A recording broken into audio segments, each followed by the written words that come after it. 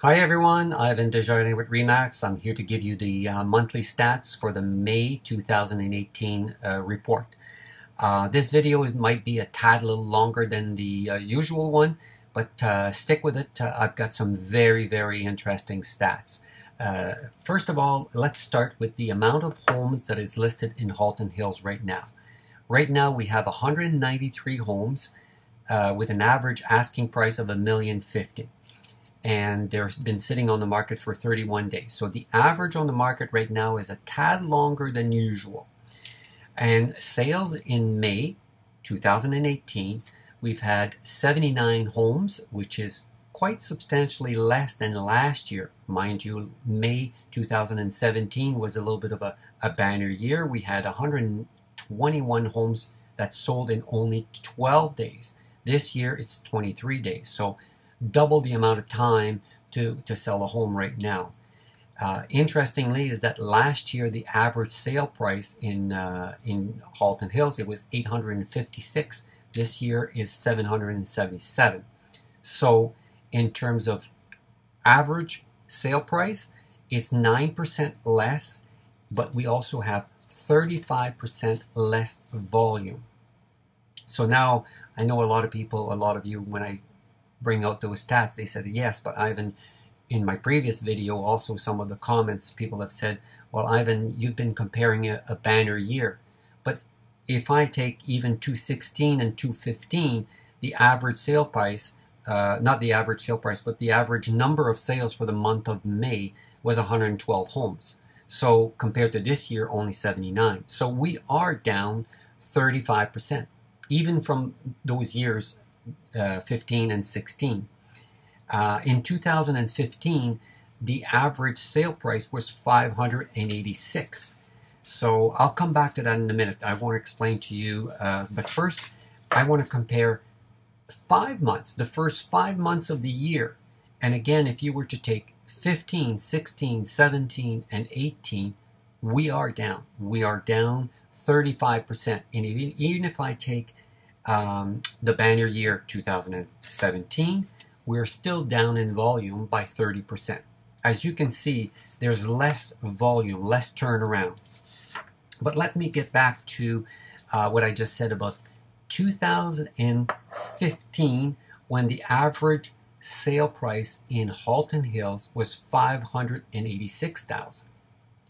And then you take the banner year 2017, only 24 months after, we had seen an increase of $269,000 to $856,000 average sale price in Halton Hills. Yes, you heard this right. So it's 45% up increase in just 24 months.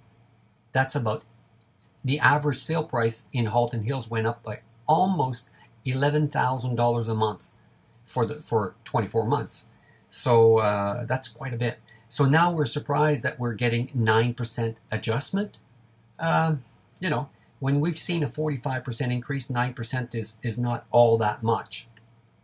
So, in conclusion, with all of these stats, is that I think we went up way too fast. Interest rates are creeping up, and we're seeing less volume in sales. And in terms of people are a little bit tapped out in terms of debt in Canada.